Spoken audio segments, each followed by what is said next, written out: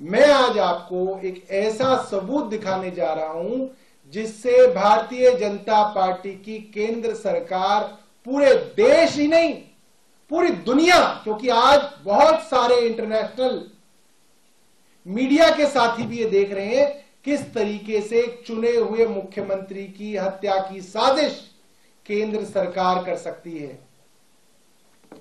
ये कह रहे हैं, हमारे यहाँ स्पेशलिस्ट हैं डॉक्टर हैं देख रहे हैं।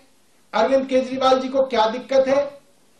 ये मैं पत्र आपको दिखा रहा हूँ, ये कल का पत्र है।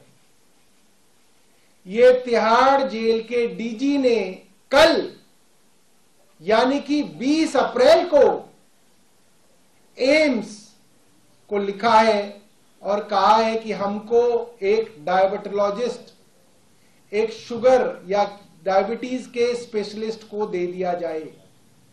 आज भारतीय जनता पार्टी की केंद्र सरकार सबके सामने एक्सपोज हो गई। कल तक ये लोग कह रहे थे, हमारे पास सारे स्पेशलिस्ट हैं। सब कुछ तो जेल में मौजूद है। अस्पताल है क्लिनिक है बेड है इंसुलिन है, सब कुछ है। अरविंद केजरीवाल झूठ बोल रहे हैं। कल तिहाड़ जेल के डीजी ने 20 दिन से इनके पास अरविंद केजरीवाल हैं, मुख्यमंत्री हैं, सीवियर डायबिटिक हैं, रोज कह रहे हैं मुझे, डायबिटोलॉजिस्ट से दिखवाइए। मुझे इंसुलिन की ज़रूरत है। एक साधारण डॉक्टर, मुझे नहीं मालूम वो कौन है और किस तरीके से वो जेल में है वहाँ पे, उसके कहने पे सारा मैनुपुलेशन किया जा रहा है और एक चुने हुए मुख्यमंत्री को दवा नहीं दी जा रही।